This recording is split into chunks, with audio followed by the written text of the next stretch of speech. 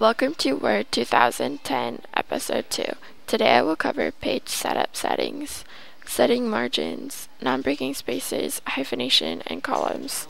And to do, first, you go under the page layout tab, under page setup group.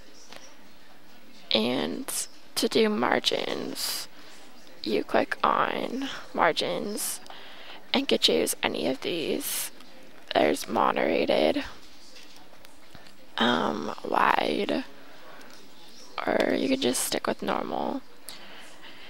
Um, next is non-breaking spaces, and to do this, we'll keep, this will keep two words next to each other instead of forcing them into a different line.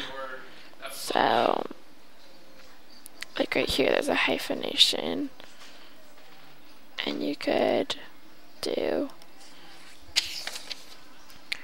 control shift space and make it so there's no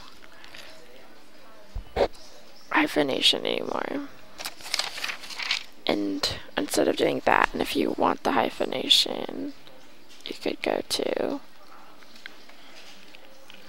automatic to any of the words or none or manual where you could type it in where you want it or to the following line. Um, lastly, I'll show you how to do columns, which is also under page setup. You can click on columns and choose between 1 to 3